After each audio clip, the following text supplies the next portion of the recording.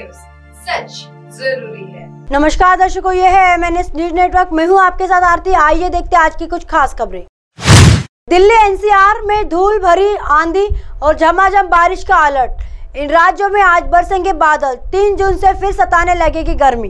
Delhi NCR सहित पूरे उत्तर भारत में इन दिनों प्री मानसून गतिविधियाँ जारी है। पिछले कुछ दिनों से चिलचिलाती गर्मी से लोगों को राहत मिली हुई है। ताज़ा पश्चिमी विक्षोभ के चलते दिल्ली एनसीआर सहित कई प्रदेशों में झमाझम बारिश हो रही है। वही जून का पहला हफ़्ता कैसा रहने वाला है? इसको लेकर मौसम विभाग की तरफ़ से अपडेट जारी किया गया। आईएमडी के मुताबिक पिछले दो दिनों से एक्टिव पश्चिमी विक्षोभ का असर 2 जून तक बना रहेगा। इसके कारण दिल्ली, एनसीआर, पंजाब और राजस्थान के कई इलाकों में आंधी और गरज के साथ बारिश आएँगी। हिमाचल में दो जून तक बारिश की गतिविधि। के बाद बारिश का दौरा कम हो जाएगा। हालाँकि अधिकांश तौर पर आसमान में बादल नज़र आएँगे। आईएमडी के मुताबिक कर्नाटक के आंतरिक हिस्सों में एक जून यानी कि आज भारी बारिश देखने को मिल सकती वही केरल में चार जून को भारी बारिश का अलर्ट जारी है। हिमाचल प्रदेश के कई जगहों पर दो जून तक बारिश की गतिविधियाँ जारी रहेंगी। इनमें मनाली, कसौली, चंबा, धर्मशाला, कल्पा सहित हिमाचल प्रदेश के अधिकार जिलों में गरज के साथ बारिश की गतिविधियाँ देखने को मिलेंगी। इन राज्यों में हो सकती है बारिश। क्लाइमेट वेदर की रिपोर्ट के मुताबिक पश्चिमी हिमाचल, हिमालय पंजाब के कुछ हिस्सों, दक्षिण कर्नाटक, आंध्र प्रदेश के तटीय भागों में रायलसीमा और लक्षद्वीप में हल्की से मध्यम बारिश के साथ एक या दो तेज बारिश की संभावना है। हरियाणा, राजस्थान और दिल्ली के कुछ हिस्सों में हल्की से मध्यम बारिश और धूल भरी आंधी चल सकती है। अंडमान और निकोबार द्वीप समूह में हल्की से मध्यम बारिश की संभावना है।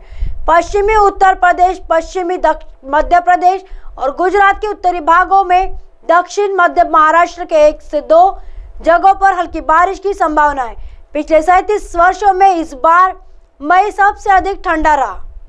आईएमडी के आंकड़ों के मुताबिक राष्ट्रीय राजधानी दिल्ली पिछले एक महीने में कई पश्चिमी विक्षोभों में प्रभावित, जिसके परिणाम स्वरूप राजधानी में उन्नीस सौ सतासी के बाद से सबसे ठंडा मई का अनुभव हुआ। इस महीने का औसत अधिकतम तापमान चैतीस दशमलव आठ डिग्री सेल्सियस रहा है। बता दें कि तीन जून से तापमान बढ़ता शुरू हो रहा है, लेकिन अगले सात दिनों तक 40 चालीस डिग्री सेल्सियस से अधिक रहने की संभावना नहीं है। तीन जून से दस जून के बीच बारिश कुछ कम होने वाली है। आइए देखते हैं अगली खबर की तरफ़। आईएमडी का यूपी में येलो अलर्ट। इन जिलों में बारिश के साथ वज्रपात की संभावना। चलेंगी तेज हवाएँ। उत्तर प्रदेश में अगले तीन दिनों तक राज्य में बारिश की संभावना है। हालाँकि बीते कुछ दिनों में बारिश के कारण राज्य में भीषण गर्मी से लोगों को राहत मिली है। लेकिन फिर से राज्य में आईएमडी के कई जिलों में बारिश के साथ वज्रपात की संभावना को देखते येलो अलर्ट जारी किया गया। इन जिलों में, जिलों के अलावा आसपास भी तेज हवाएँ चल सकती है। आईएमडी ने सरहानपुर, शामली, मुजफ्फरपुर, मुजफ्फरनगर बारगत मेरठ, गाजियाबाद, हापुड़, गौतम नगर, बुद्धानगर, बुलंदशहर, बिजनौर, अरमेरा, अमरोहा, मुरादाबाद, अलीगढ़ संबल बदायूं और आसपास के जिलों में अलर्ट जारी किया गया। इन जिलों में विभाग ने मध्य तेज बारिश की संभावना जताई। बारिश के साथ ही वज्रपात होने की बात विभाग की ओर से कही गई है। विभाग की माने तो कई जिलों में ओले भी गिर सकते। आईएमडी ने दी ये जानकारी। मौसम विभाग के ओर से जिन जिलों में येलो अलर्ट जारी किया गया, वहाँ तेज हवाएँ चलने की बात कही गई।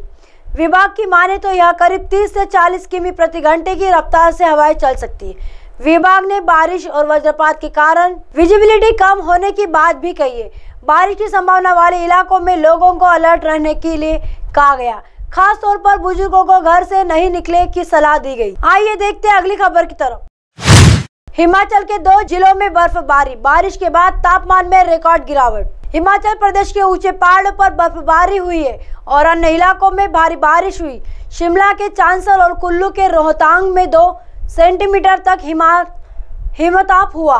इससे तापमान में रिकॉर्ड गिरावट दर्ज की गई। पिछले 24 घंटों के दौरान कई शहरों के अधिकतम तापमान में 20 डिग्री सेल्सियस तक की कमी आई है।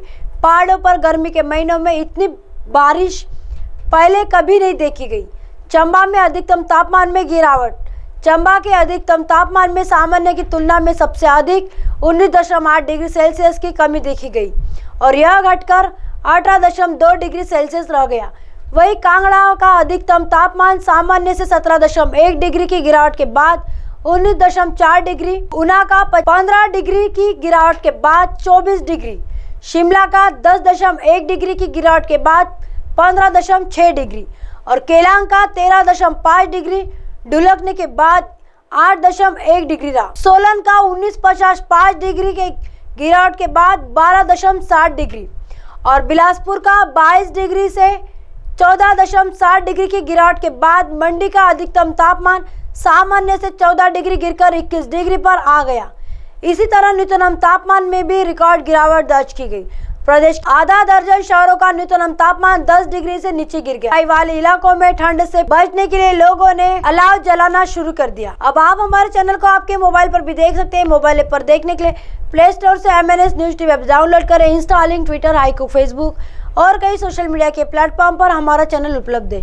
आप इसे यूट्यूब पर भी देख सकते हैं। आप हमारे चैनल को लाइव भी देख सकते हैं। डब्ल्यू पर। फ़िलहाल वक्त चला दर्शकों ब्रेक का। ब्रेक से लौटने के बाद देखिएगा देश और दुनिया की तमाम खबरें। बने रहिए एम न्यूज़ पर। नमस्कार।